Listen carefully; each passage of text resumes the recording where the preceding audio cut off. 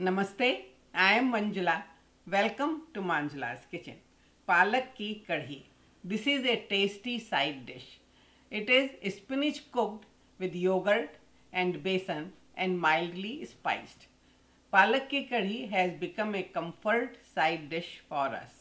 It is easy to make and can be served with any meal. This recipe will serve two.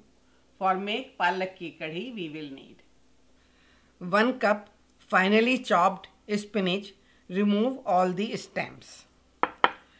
Half a cup of yogurt, dahi, 2 tablespoons of besan, gram flour, 2 tablespoons of oil, half a teaspoon of cumin seed, jeera, 1 4th teaspoon of fenugreek seed, methi, 1 8th teaspoon of asafoetida, hing, 1 whole red chili, 1 4th teaspoon of turmeric, haldi, 1 4th teaspoon of red chili powder, half a teaspoon of salt.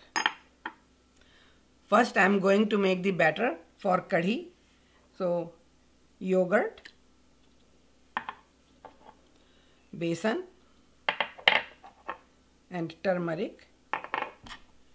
Mix it well. This batter should not have any lumps.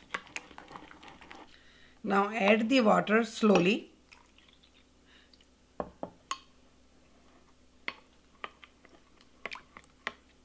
And keep and mix it well.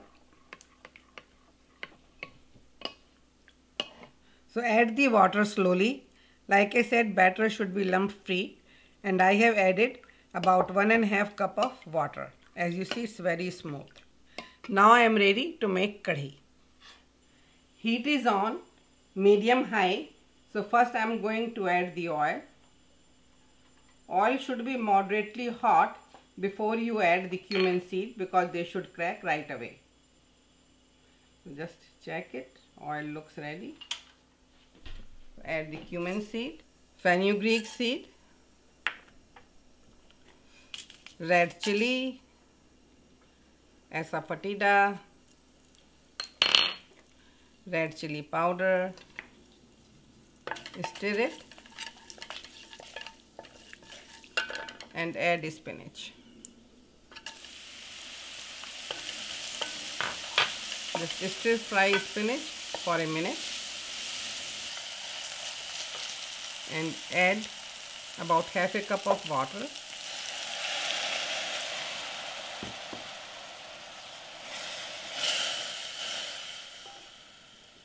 and add the yogurt and besan batter.